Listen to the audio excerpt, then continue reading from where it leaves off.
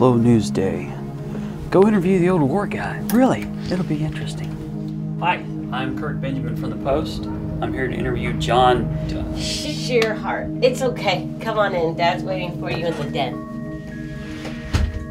Dad, Kirk Benjamin's here from the Post. He's here to interview you. I know why he's here.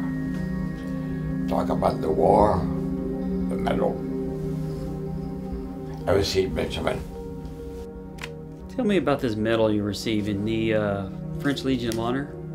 That's kind of a big deal, huh? I guess you could say that, yeah. It's uh, France's highest distinction for the American who fought for the liberation of France. You enlisted just after Pearl Harbor, right? Just one more all American boy ready to serve his country? yes, after Pearl Harbor. You have to understand, I thought of myself as a, as a. Yesterday, December 7th, 1941,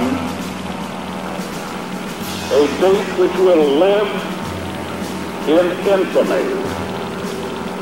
The United States of America was suddenly and deliberately attacked by naval and air forces of the Empire of Japan.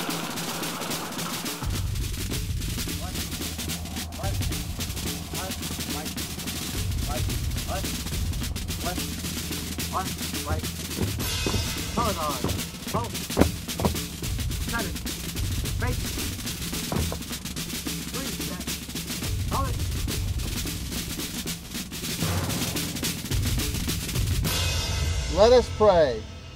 O Heavenly Father, we thank you for this beautiful day aboard the battleship Texas, the last of the dreadnoughts.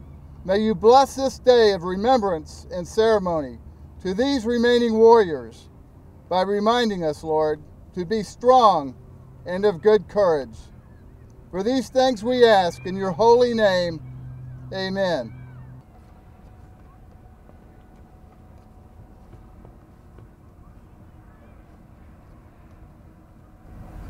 John Tschirhart, au nom du président de la République, nous vous remettons les insignes de chevalier de la Légion d'honneur.